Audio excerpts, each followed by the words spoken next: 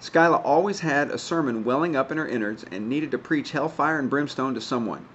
Mom's boyfriend Wayne was always a big, easy target, and he needed it. Wayne was a jolly sort. He was shortish with a jiggly belly, pasty skin, freckles, and a red bushy Freddie Fender style afro, the hairline of which slid down the front of his forehead a little too close to his brow. Wayne had a pronounced overbite, gambled some, and drank a little more. He'd come by the back alley apartment on Fridays after getting paid and give my sister and me some cash to go eat supper at the local Burger King. We'd greedily grab the bills and burst through the flimsy, dark green painted screen door, beelining for Burger King and a delicious whaler fish sandwich. Well, that's what I always got.